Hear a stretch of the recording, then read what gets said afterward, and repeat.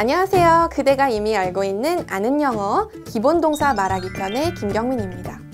오늘 첫 번째 수업인데요. 본격적으로 수업하기에 앞서서 강의 소개 간단하게 드릴게요. 강의 제목은요. 아는 영어고요. 아는 영어 시리즈 중에 기본 동사 말하기 편이에요.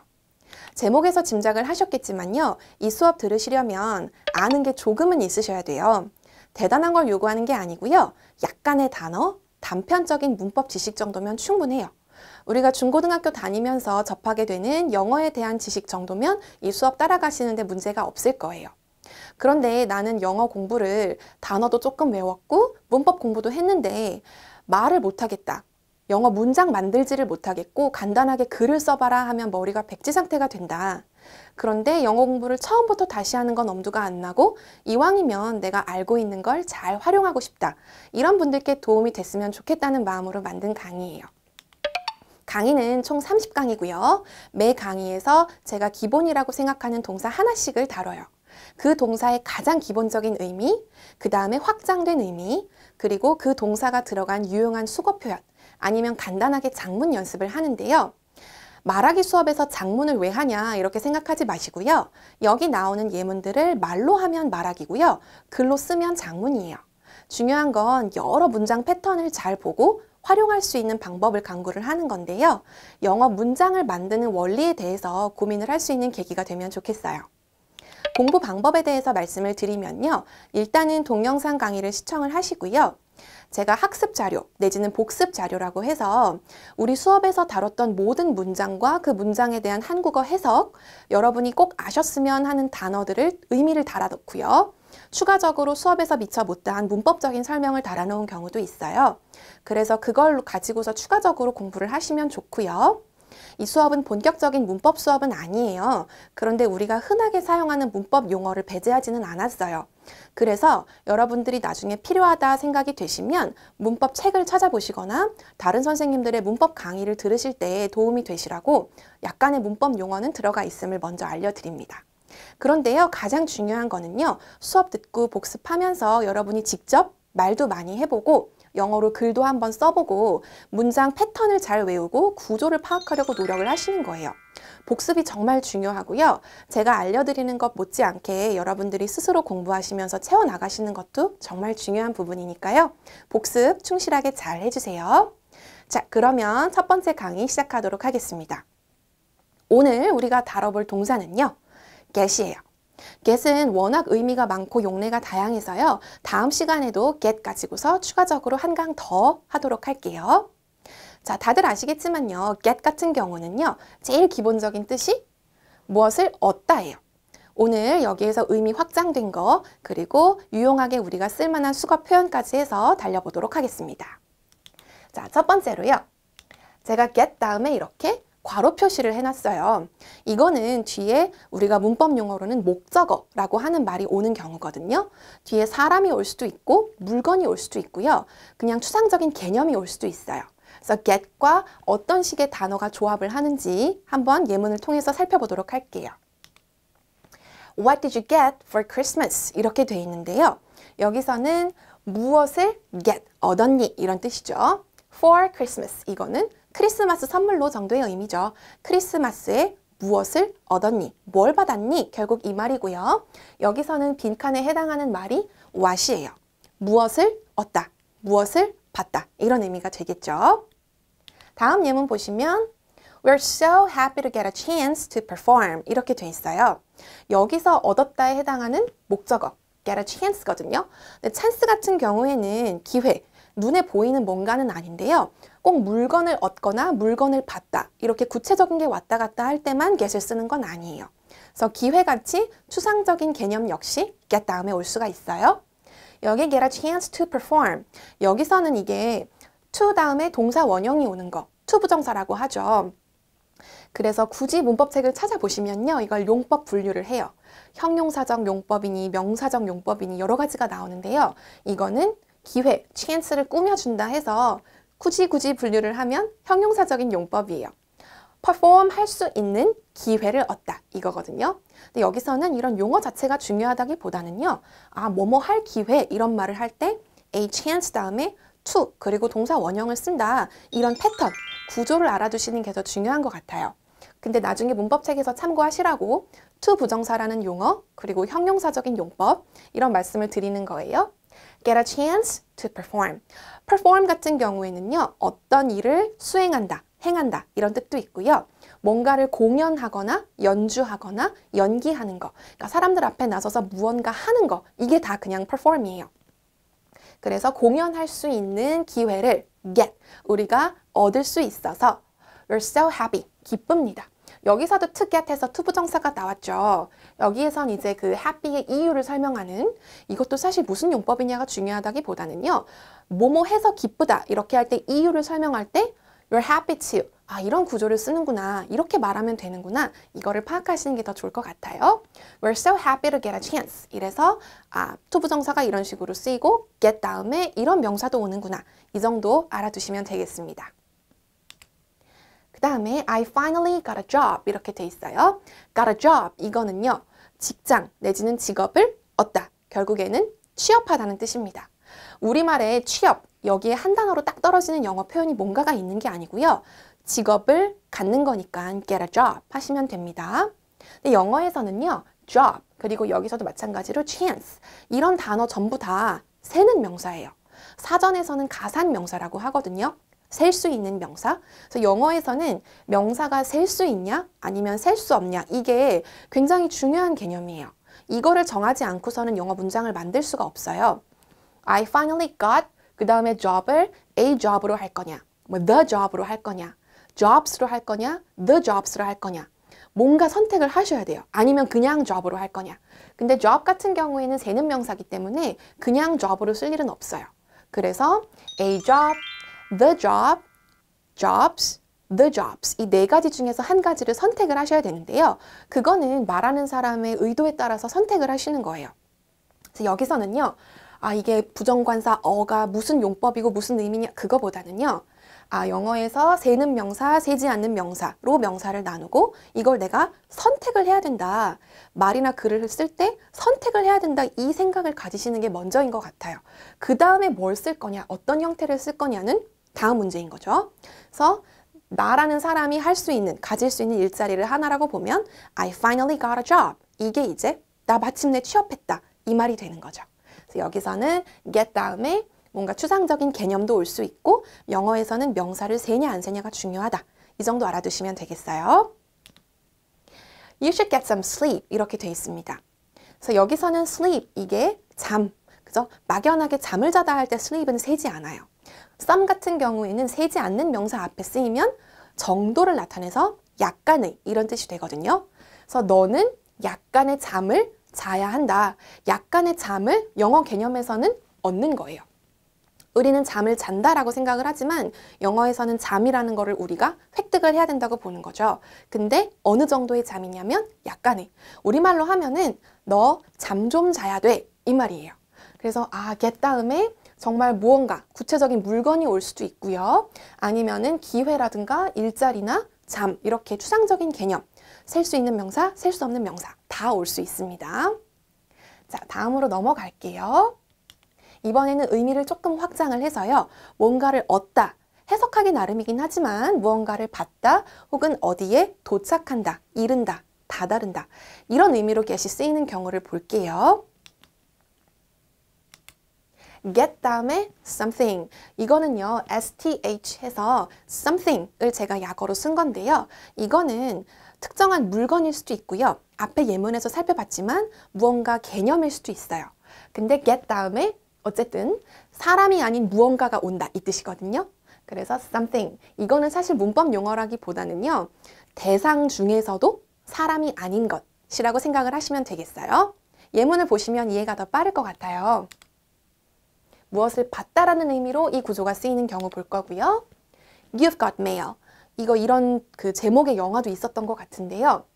직역을 하면은요. 당신은 받았다 혹은 얻었다 메일을? 이것도 영화 제목이요. 우리말로 번역이 안 되고 그냥 You've got mail 이렇게 됐던 것 같아요. You've got mail. 이거 직역하면 너무 이상하거든요. 당신은 메일을 얻었다. 결국에는 당신은 메일, 우편물을 got, 받았다. 그리고 여기 apostrophe ve는 have 이거를 줄인 거죠. 그래서 have got. 이게 현재 완료 시제라고 하는데요. 현재 완료 시제는 지금 상태가 어떻다에 굉장히 초점을 맞춘 시, 제예요 그래서 네가 지금 메일을 받은 상태다. 그죠? 맥락에 따라서는 이 메일을 막 받았다. 이렇게 해석이 되기도 해요. 어쨌든 너는 메일을 받았다. 그죠? 메일이 와 있는 상태다 이거죠. 결국에는 이게요. 편지 왔어요 라는 뜻이에요. 영어에서 주어를 you로 쓰고 get을 써서 메일을 얻었다. 결국에는 받았다는 의미고요. I got an A in English. 여기서는 학점 얘기를 하는데 학점은 우리말로도 받다고 하죠. 이때 학점을 받다에 해당하는 동사가 get입니다. 나는 A를 받았습니다. 어디에서? 영어에서. 전치사 in 같은 경우에는요. 영역, 측면 이런 걸 얘기를 할 때 in을 써요. 그래서 영어라는 영역에서 나는 A 학점을 받았습니다. 이런 뜻이고요. 여기서 학점으로 A, B, C 이런 게 쓰일 때는요. 얘네도 세요. 그래서 I got an A 이렇게 해서 앞에 A 앞에 부정관사 an이 붙었어요. I got an A. 그리고 전치사 in의 느낌도 잘 보세요. 영역이나 측면입니다. I got the feeling that it's not going to work out. 자, 이 예문에서는요. 여기 something에 해당하는 게 메일 같은 경우에는 구체적인 물건이지만 여기서는 feeling, 막연하게 개념이죠. 느낌. 그래서 I got the feeling, 느낌을 받았다. 사실 이 경우의 get을 얻었다로 예, 그 해석을 하면 조금 어색해요. 그래서 느낌을 받았다. 그리고 that 같은 경우에는요. 접속사라고 하는데요. 뒤에 이렇게 문장, 주어하고 동사가 나오는 문장을 이끄는 경우 그런 걸 이제 접속사라고 하는데요. 여기서는 굳이 문법적으로 분류를 하자면 동격의 대시라고 해요. 그래서 feeling 앞에 나온 명사의 내용을 설명을 하는 거예요. 근데 사실 이게 동격이냐 아니냐, 무슨 절을 이끄느냐, 무슨 격이냐 이런 건 정말 중요하지 않고요. 이러저러한 느낌을 받았다 할 때 feeling을 쓰고 that을 건 다음에 거기에 주어 동사에서 문장을 쭉 붙여주면 이러저러한 느낌을 받았다. 이런 말을 할 수 있다. 이 구조 자체를 보는 게 중요해요. 제가 자꾸 문장 패턴이라든지 구조라는 말씀을 드리면은요. 문장의 성분이나 문장에서 내가 하고자 하는 내용, 의미 단위를 연결을 어떻게 했나. 이런 거를 보시라는 뜻이에요. 그래서 feeling that 이게 아 이러저러한 느낌을 받다 할 때 feeling의 내용을 설명하는 방법이고요. 접속사 that을 붙이는 게 그렇게 설명하는 방법 중에 하나예요. It's not going to work out. 여기서 workout은요. 흔히 운동하다는 뜻도, 뜻으로도 쓰이고요. 아니면 어떤 일이 잘 풀린다는 뜻이 있어요. So it's not going to work out 하면은 일이 잘 풀리지 않을 것 같다. 그죠? be going to라는 말이 나오죠. It's not going to. 이건 우리가 미래 시제라고 외우죠. 그래서 뭐뭐 할 예정이다. 일어날 확률이 좀 높은 일에 대해서 뭐뭐 할 것이다. 이런 뜻으로 쓰여요. 그래서 work out 하지 않을 것이다. 라는 느낌을 내가 get 받았다. 이 뜻입니다. 그래서 일이 잘 되지 않을 것 같다는 느낌을 받았다. 이렇게 해석을 해주시면 되겠어요. I sent an email to get the approval from my boss. 이렇게 돼 있는데요. 여기서는 approval이라는 단어가 조금 어렵다고 느끼실 수도 있어요. 이거는 동의 아니면은 내가 반드시 받아야 하는 보통 윗사람이나 정부 기관이라든가 이런 데서 받아야 하는 승인입니다. 승인이에요. 승인이나 허락이란 뜻이 approval이고요. 이런 거를 얻어내는 것, 결국에는 승인을 받는 거 할 때도 get이라는 동사를 써요. 그래서 get 다음에 뒤에 something 이런 거에 해당하는 말이 굉장히 여러 가지가 올 수가 있죠. 구체적으로 왔다 갔다 할 수 있는 물건도 되고요. 학점이라든가 느낌이나 인상 그리고 승인 이런 추상적인 개념까지 올 수가 있어요. I sent an email. 이메일을 보냈습니다. 뭐 하려고요? 승인을 받으려고요. 승인을 얻으려고요. 누구한테서요? 나의 상사에게서부터요. 나의 상사로부터 승인을 받기 위해서 이메일을 보냈습니다. 여기서는 영어 어순 잘 봐두세요. 나는 이메일을 보냈습니다. 뭐 하기 위해서요? 누구로부터? 이런 식으로 말의 단위를 조합을 하게 돼요. 지금 이 한 강의 가지고서 혹은 이 시리즈 하나만 듣고서 영어 문장에 대해서 구성하는 방법을 내가 마스터할 수 있다 이렇게 생각은 하시면 안 되는데요. 기본적으로 영어 문장이 이루어지는 원리에 대해서는 꼼꼼하게 조금 분석을 해보실 필요는 있어요. 자, 여기서는 이제 뭐뭐 하기 위해서 뭐뭐 하려고 할 때 투부정사를 씁니다. 다음으로 넘어갈게요. get이요. 어디에 이르다 또는 도착하다는 의미로 쓰일 때는요. get 다음에 전치사 to를 쓰는 경우도 있고 안 쓰는 경우도 있고요. 이거는 somewhere 이거를 줄인 거예요. 그래서 어느 장소를 얘기를 합니다. 장소에 해당하는 말이 오면 돼요. When did you get here? 여기서는 to가 빠졌어요. 왜냐하면 here 자체가요. 여기에 뭐 이런 그 to를 포함하는 그런 개념이거든요. 굳이 품사를 분류하면 부사라서요. 전치사를 안 썼어요. 그래서 when did you get here? get to here 이런 말이 없어요. 그냥 get here입니다. 너 여기 언제 왔니? 그래서 도착한다는 의미로 get이 쓰이기도 해요. We got to LA on Saturday. 여기서는요. to LA에서 LA로 그래서 LA 쪽으로 전치사 to가 제일 기본적인 의미가 어느 어떠한 쪽으로 어떤 방향으로 이런 뜻이에요. 그래서 토요일에 우리는 LA에 이르렀다. LA에 도착했다. 이거고요. LA에 혹은 LA로 이런 느낌으로 전치사 to를 썼다면 여기 on 같은 경우에는 어떤 요일에 어떤 날에 할 때 요일 앞에 붙어요. 혹은 날짜 앞에 붙고요. 그래서 LA에 토요일에 도착했습니다. 이렇게 보시면 되겠고요. I couldn't get to bed until dawn. 여기서 dawn 같은 경우에는 새벽이라는 뜻이에요. until은 그때까지. 그죠? 그래서 get to bed 이게 꼭 구체적인 도시나 나라 이름이 아니더라도요. 침대라는 장소. 근데 침대라는 장소에 정말 물리적으로 가지 못했다. 결국에는 잠을 못 잤다는 거예요. 잠들지 못했다. 나는 잠을 자러 가지 못했습니다. 언제까지요? 새벽까지요. 그러니까 잠자리에 들지 못했다는 뜻을 이렇게 얘기를 하는 거예요. 그래서 자러 가다 할 때 침대로 가다 해서 get to bed 이런 말도 많이 씁니다. 자, 이번에는요. get이 들어가서 우리가 유용하게 쓸 수 있는 표현들 몇 가지 살펴보도록 할 건데요. 가장 먼저 알아볼 표현은 get into예요. into라는 전치사 같은 경우에는요. in이 안이죠. 그리고 to가 어느 쪽으로. 그래서 안으로, 안쪽으로. 그래서 의미를 크게 분류를 하면은요. 어떤 곳으로 진입한다는 뜻이 있습니다. 그래서 어디에 들어간다는 뜻이에요. 이때 get은 어느 쪽에 이르다 도착하다 이런 의미에 가깝겠죠. 예문 보시면요. They got into the car.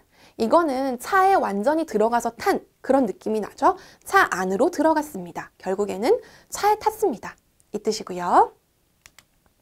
My kids got into elite colleges. 여기서 elite 같은 경우에는요. 우리말로 엘리트에 해당을 합니다. 근데 영어에서는요. 이걸 발음을요. 엘리트라고 안 하고요. elite 해서 강세가 두 번째 음절에 있어요. elite라고 발음을 하고요. elite colleges 하면은 우리말에 가장 가까운 표현은 명문대예요. 엘리트들이 들어가는 대학교 뭐 이렇게 해서요. 그래서 my kids 하면 우리 집 애들이 got into 들어갔습니다. elite colleges 명문대에 이거를 직접 다른 사람 면전에서 이런 말을 할 일이 뭐가 있을까 싶긴 한데 아무튼요. So get into elite colleges. 대학에 들어간다는 표현을 할 때 입학하다. 대학이라는 곳에 들어가다 할 때도요. get into를 쓸 수가 있어요. 그리고 그냥 colleges 해도 되는데요. 명문대라는 표현을 제가 추가로 알려드리고 싶어서 앞에 엘리트를 붙여봤어요. 그래서 이런 데에 꼭 물리적인 공간에 들어가지 않아도 어딘가에 진입하다, 들어가다는 의미를 get into를 쓰면 표현할 수가 있어요. 예문 하나 더 있어요. I was a liberal arts major and got into the tech industry. 이렇게 돼 있어요. 이게 liberal arts 이게요. 우리나라 학제에서 가장 비슷한 전공이 인문학이에요. 그 다음에 major 같은 경우에는요. 우리가 전공하다 내지는 전공으로 배우잖아요. 근데 I'm a blah blah major 하면은요. 전공자라는 뜻으로도 쓰여요. 그래서 나는 인문학 전공자였는데 got into 들어갔어요. 진입했어요. 어디에요? The tech industry. 테크가 테크놀로지 이거 기술 줄인 거잖아요. 결국에는 IT 업계 들어갔다는 뜻입니다. 그리고 특정 업계를 이야기할 때 industry는 세는 명사기 때문에요. 무슨 무슨 업계 할 때는 앞에 보통 the가 들어가요. 그래서 the tech industry 이렇게 하면 기술 업계, IT 업계가 되는 거죠. 여기서는 업계에 진출하다 내지는 이쪽 업계에 들어간다니까 종사한다는 뜻이 되겠죠. 그래서 get into가 여러 가지 의미로 쓰이는 걸 봤습니다. 다음에 살펴볼 표현은요. get over예요. over 같은 경우에는 무언가를 넘어선다는 느낌이 있어요. 여기서 get도 마찬가지로 어딘가에 이른다는 느낌이 있고요. 그래서 get over 하면 넘어선다. 결국에는 뭔가를 극복한다는 뜻입니다. 물론 극복하다에 해당하는 overcome이라는 단어도 있는데요. 그거 하나만 알고 있는 것보다는 get over 여러 가지 표현을 같이 알고 있으면 조금 더 다채롭게 쓸 수가 있겠죠. 예문 볼게요. I really want to get over my fear 이렇게 돼 있어요. 나의 fear, 두려움을 get over, 넘어서고 싶어요. Really 들어가서 그 want의 정도를 강조를 한 거고요. 뭐뭐 하고 싶다 할 때 want 다음에 뒤에 동작이 나오는 경우에는 투부정사를 써요. I want to. 이거는 그냥 네, 요거 통째로 외워주셔야 되는 부분이고요. Get over my fear. 두려움이라는 감정을 넘어서고 싶다, 극복하고 싶다 이거고요. It took almost two weeks for me to get over the flu. 이렇게 돼 있어요. 여기서는 두려움이라는 감정을 극복하면은요. 뒤 여기서는 flu. 그 독감이죠. 독감이라는 질병을 넘어선다. 다 낫는다는 뜻이고요. 여기서는요. It takes 그 다음에 시간 for somebody to 부정사 이 구조가 되게 기본이 되는 구조 중에 하나인데요. 자세한 거는 제가 복습 자료에다가 추가적으로 설명을 붙여놓기는 했어요. 간단하게만 설명을 드릴게요. 이 다음에 take를 쓰시고 시간이나 비용, 노력을 쓴 다음에 투부정사를 쓰시면은요. 뭐뭐 하는데 여기서는 get over겠죠? get over 하는데 이 정도의 시간이 필요하다. 이 정도의 시간이 걸린다는 뜻이에요. 근데 여기 지금 앞에 for me가 들어갔어요. 이거 문법책에서는 투부정사의 의미상 주어라고 해서요. 이 문장 전체에서 원래 주어는 문법적으로는 it이에요. 그런데 실제로 get over 하는 거의 의미상의 주체가 나라는 뜻이죠. 내가 get over 하는 데에는 거의 2주가 필요합니다. 이 뜻이에요. 그래서 내가 the flu, 독감을 get over, 극복하는 데에는 거의 2주가 takes 필요합니다. 근데 지금 과거 얘기를 해서 it took 해서 과거 형태로 썼어요. 그래서 독감이 다 낫는데 거의 2주가 걸렸다. 근데 독감을 극복하는 주체가 나라서 투부정사 앞에는 이런 식으로 의미 표현을 할 때 for를 써요. 그래서 이거는 그냥 거의 굳어져 있는 구조이기 때문에요. 받아들여 주셔야 되는 부분이 있고 이 구조는 take 강의에서 조금 더 자세하게 다루도록 할게요. 여기서는 그냥 한번 봐주세요. 아, 이 정도 시간이 필요한다. 뭐 하는 데에는. 그래서 it takes 시간, 비용, 노력, 투부정사 해주시면 되겠습니다. I didn't sleep much to get over the jet lag 이렇게 돼 있는데요. jet lag 같은 경우에는 이제 비행기 여행을 할 때 발생하는 시차 있죠. 특히 그 시차로 인한 피로. 그래서 우리도 시차를 극복한다 이런 말 하죠. 그래서 시차를 극복한다에 해당하는 영어 표현이 get over the jet lag예요. 그래서 I didn't sleep much. 나는 잠을 많이 안 잤다. 뭐 하기 위해서? 시차를 극복하기 위해서. 그래서 극복의 대상도 두려움이라는 감정에서부터 병, 그리고 피로감, 여러 가지를 뒤에 갖다가 쓸 수 있어요. 그래서 get over, 이거는 get의 기본적인 의미, 그리고 over의 기본적인 의미에 충실하면 유출을 할 수 있는 부분이고요. 네. 오늘 get에 대한 설명 여기까지예요. 앞으로의 수업도 이런 식으로 진행이 될 거니까 참고해 주시고요. 아까 말씀드린 대로 복습 열심히 잘 해주세요. 저는 다음 시간에 다른 내용으로 찾아뵙도록 하겠습니다. 그대가 이미 알고 있는 아는 영어